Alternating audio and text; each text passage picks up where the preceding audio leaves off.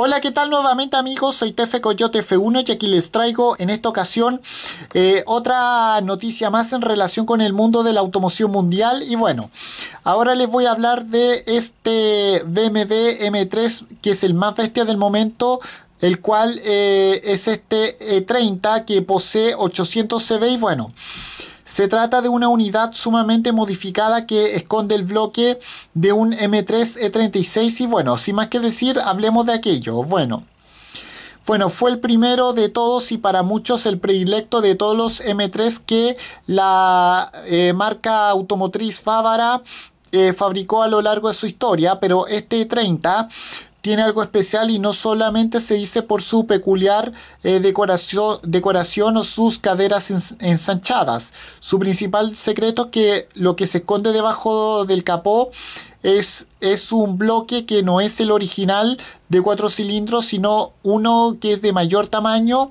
al que se le añadieron distintos componentes de alto rendimiento para que se convierta en toda una bestia que no tiene ningún tipo de reparo al momento de medirse eh, a los mejores automóviles superdeportivos del momento. Bueno, estéticamente el BMW M1330 que está en las imágenes junto con este artículo noticioso, eh, se inspira en el, eh, en el vehículo del, del DTM que conduce, que, o sea, el Deutschland Tourenwagen eh, Meisterkraft, lo cual hoy en día es el Deutsch Tourenwagen Master, que condujo Allenberg en el año 1991 con una decoración tic-tac, bueno, que como sabemos es una es un fabricante de, de mentas algo modificada que elimina al emblema de, de, esta, de esta marca de, esta marca alimenticia del lateral lo que lo que hace que la carrocería dorada destaque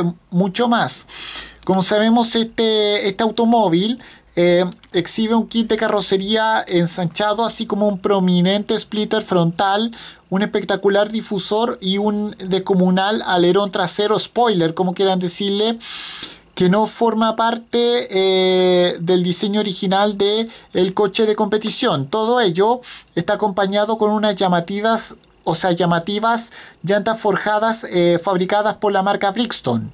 Bueno, con respecto a la sección interior hay que destacar la presencia de unos eh, asientos delanteros originales, así como las plazas posteriores y los paneles de las puertas, una pantalla de 3,5 eh, pulgadas que se encarga de ofrecer información relevante al conductor, como la presión del turbocompresor y también del sistema de inyección de combustible.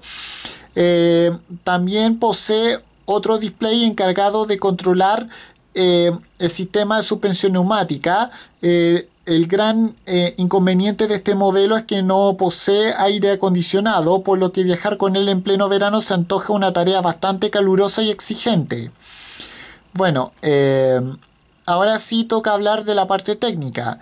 Bueno, aquí es donde resalta por encima de todo el cambio del propulsor porque este M3 posee un bloque eh, modelo S52 B32 de su sucesor, es decir, el, el modelo M1336 vendido en el mercado norteamericano. Se habla de una mecánica que posee 6 cilindros en línea y 3,2 litros que originalmente tenía como potencia 240 caballos, pero que ahora posee distintos componentes forjados.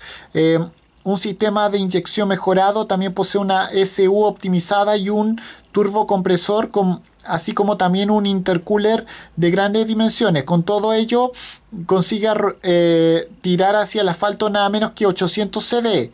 Bueno, toda esa energía es canalizada a través de una caja de transmisión de tipo manual de 5 marchas que la envía hacia el tren posterior con la ayuda de un diferencial de deslizamiento limitado. La suspensión, como se decía antes, neumática, mientras que el equipo de frenos procede, precisamente de un eh, BMW eh, Serie 3 modelo de 46. Este esta máquina puede funcionar con gasolina de 91 octanos o etanol. Y con esto me despido. Adiós, que me fuera. Chao.